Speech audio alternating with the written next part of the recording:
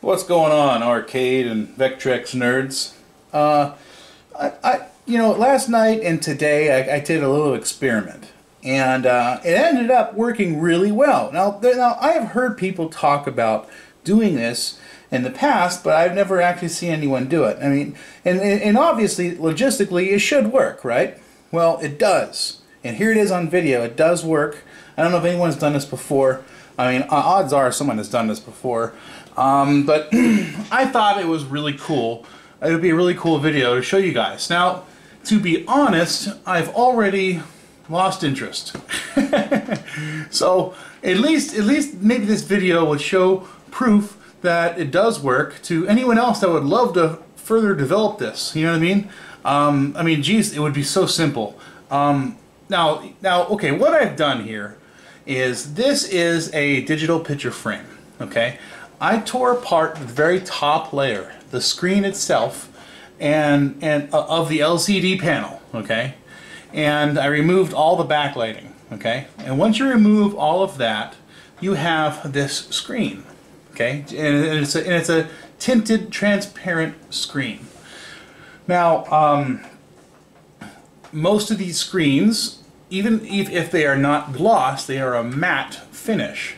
And so what I did is I got linseed oil and I um, rubbed it on this screen very light, very light, and rubbed it almost entirely off.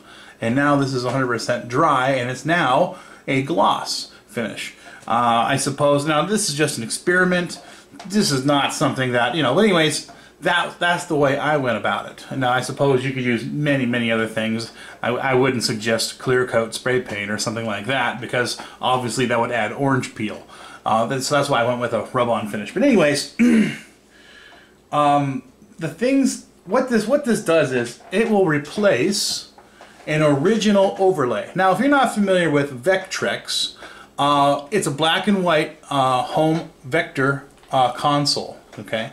And uh, since it's black and white, when you bought the cartridges back in the day, and now all these new guys that are that are still producing these these awesome games, uh, they are producing their own overlays, and there was original overlays that would go over the screen. Okay, and oh yeah, hand me that. Here's an example of an overlay. but the, this overlay would go over the original screen, and and that's how you would get color on the black and white uh, monitor. Well, if I were to project on a project to display an image on this LCD panel, now since it's translucent, the, the vector light will go right through and be colorized by the LCD panel itself. Um, the cool thing, the cool thing about this is, you see this original thing right here? This is a static image, okay? Now, now if you, by, by the way, I put this here to trick the camera to stay in focus because I was having a lot of difficulty uh, keeping this camera focused and that ended up being the trick. So in my future vector videos, vectors are very hard to record. In my future vector videos, you may see this just just so I can get the damn camera to uh, focus. What was I talking about? Shit. I don't know, I don't remember. Alright, Larry, let me continue rambling on before I show you this. Um, something that is interesting, I believe. Oh yes, I said, I was talking about static. Now that image is static, right? Well, a programmer, which is not me, I'm not a programmer, I'm more of a hardware guy. a programmer could could make a raster game in the background. For example, um, you might have an asteroid ship, right? An asteroid ship moving around.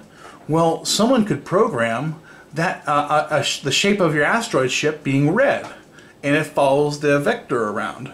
So you could always have a red ship, and so on.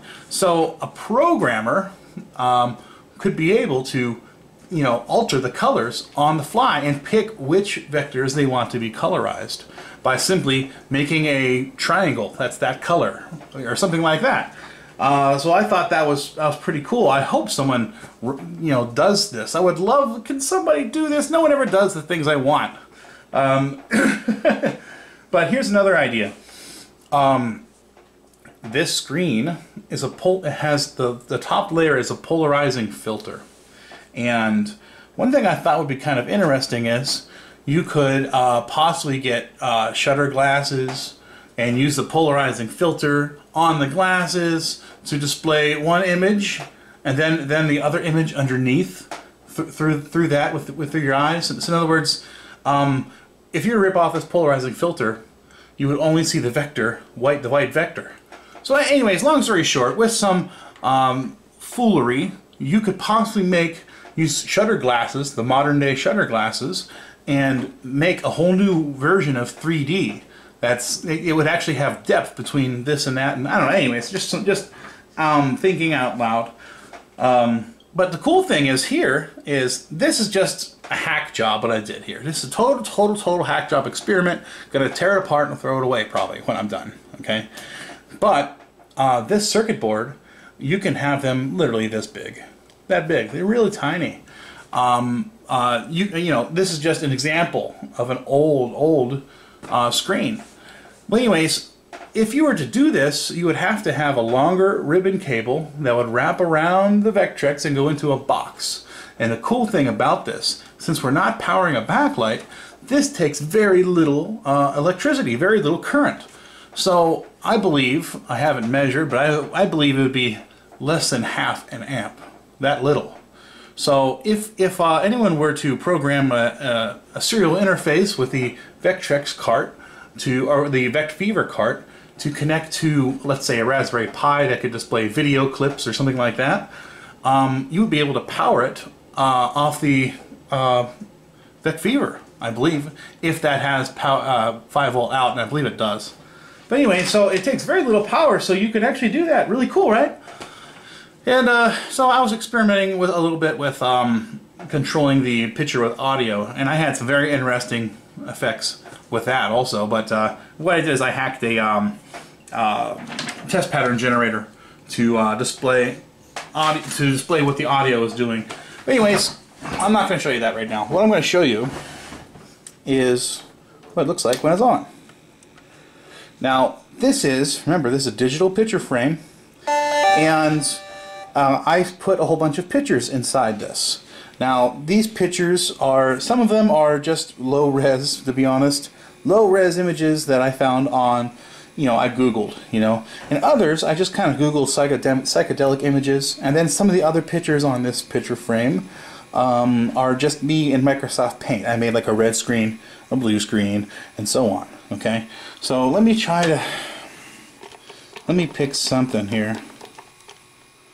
Uh, what will be good, Kelly? What would like, what is a good example of something that would look good. Oh, you know what? I kind of like Star Castle. Okay. Now, let me go over here. Now, yeah, I can just press a button and it will switch the overlay. Switch, switch, switch. That's red. Oh, turn the light off, Kelly. Yeah. Turn the light off, and maybe if, if it's darker, it'll show up a little better. That's a little bit better. I don't know if that's better or not, actually. That's yellow. That's blue. That's a cayenne. There's a blue. That's a purple. Yellow. This is like a psychedelic thing, and I don't know if you can pick that up in the camera. Another psychedelic one. Now this, I just made white. This is just the, a white image being displayed. So basically, it, makes this this screen clear. Okay. Uh, and this, whoop, I went back. Let me go back. This was a test I did, and you, oh, geez, you can't see it in the camera, can you? Can you see it in the camera? I made a test where I just put black bars across. Okay, just to see what it would look like. Um, what else do we have? I think, are we into, yeah, the, this would be a Solar Quest uh, overlay. Can you see the uh, yellow dot in the center? Maybe not. Yeah, you see the yellow dot? Okay, so let me find something that might make this, oh, I know.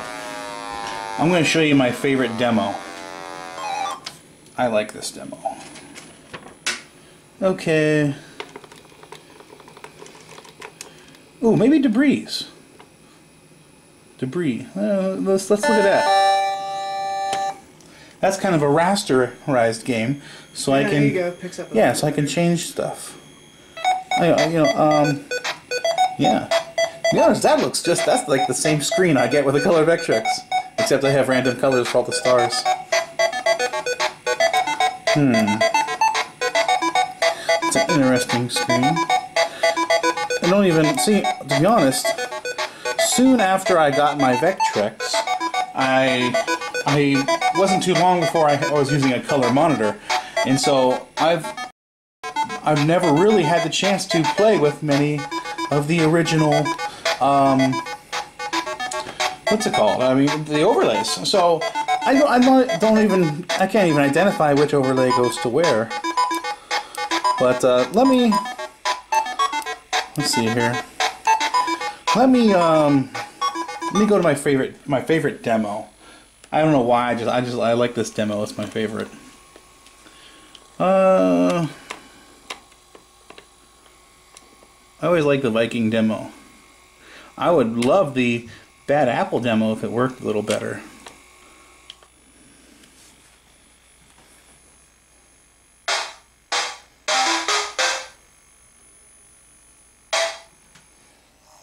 Okay, let me. That's a psychedelic one. I hope that I hope that can come through because that looks awesome.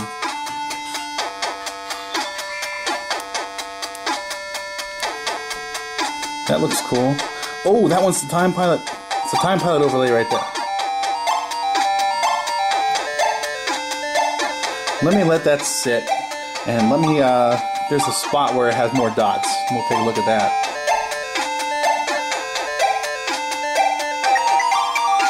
Now you can tell it's time pilot, right? What else we got? That's the Star Castle. That's definitely Solar Quest. I mean, uh, Star Castle. There's something. That would be armor attack. I don't know what that is. That could be pole position? Hmm. This is just some random file that I got off. I, I googled psychedelic.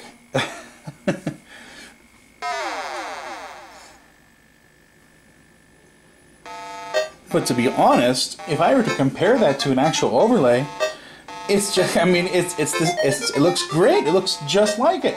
I'm very impressed because I didn't expect it to be that bright. Actually, it makes the colors better than than an overlay. Overlays are almost they almost stay white. Does that make sense? This this this uh, has like a higher contrast. What else can I do? There's my so- solid colors again. There's my little bar test I did.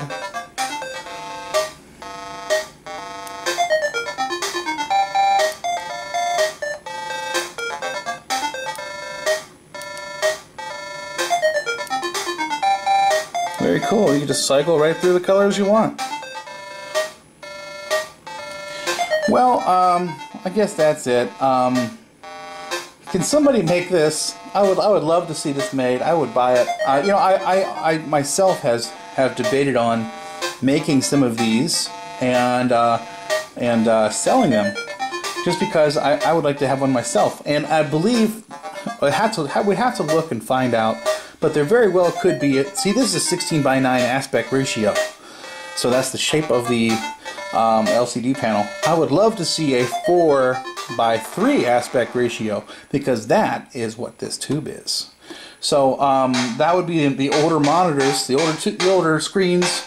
Uh, you know, probably last produced around 2010, around that era. You know, um, so yeah.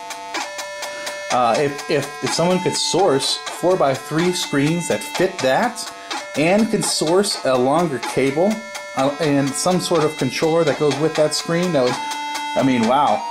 It would, uh, it wouldn't be too hard to do. But, I don't know. I, I may make a, make a few and give them away, you know, for, at cost. I don't know. But all right, guys, uh, if you like this kind of crap and all this experimental junk, um, subscribe, hit that bell icon so you can see the next video when it comes out. Have a good one, guys.